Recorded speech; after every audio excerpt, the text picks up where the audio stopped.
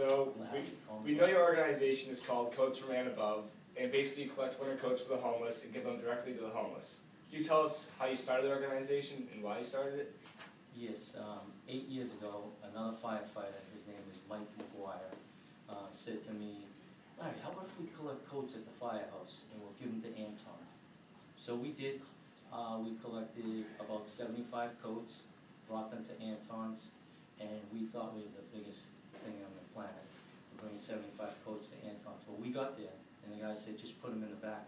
Well, there were more than three thousand coats in the pile, and I'm like, oh my god. So Anton's distributes them all over, I think Massachusetts, maybe even beyond.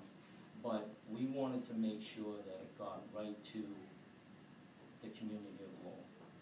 So the second year we did it at the firehouse, and every year since, we have got more and more, gotten more and more coats. So last year, and this, this past winter, um, last year, we collected nine hundred coats. This past year, somewhere between five and seven hundred coats. And we ran out of winter coats this year. So my friend is the general manager at Allen Mellon Dodge. Allen Mellon Dodge bought the winter coats that we needed for five kids. The reason why, um,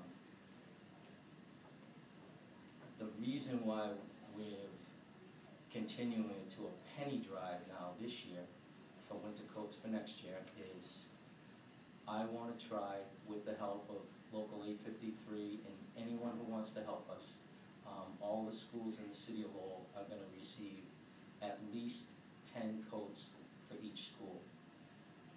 I, we need to, we need to collect more than nine thousand dollars to make that happen. It's gonna happen. Explain the reaction of the homeless when you give them their own coat to keep.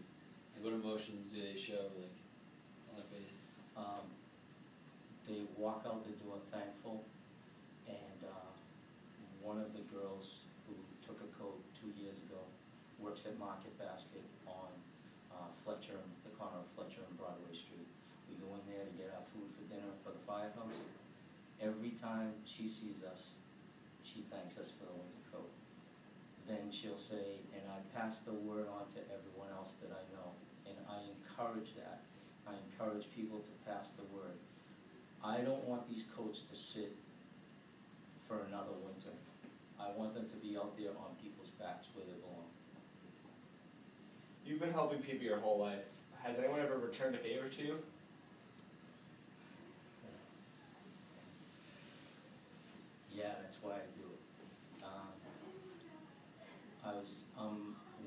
13 children. Um, my dad not only and mom raised 13 of us. My dad coached Little League for 44 years. Uh, my mom, um, there's a song, The Christmas Shoes. That's my mom.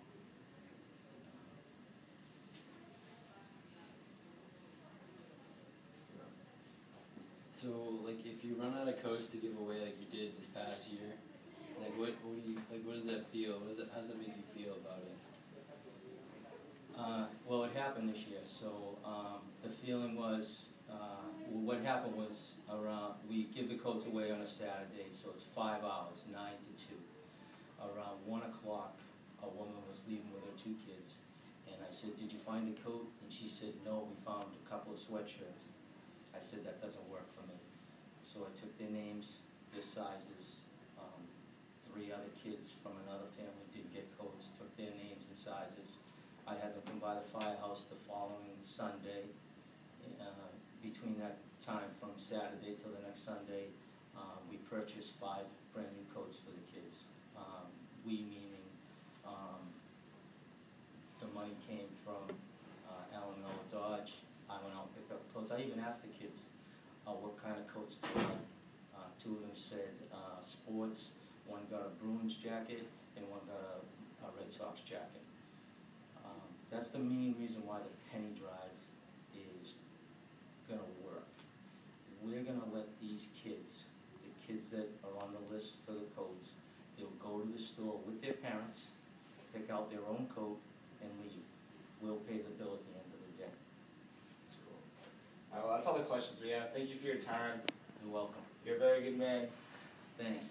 The reason why I do this, I just wanna say, um, my friends made me who I am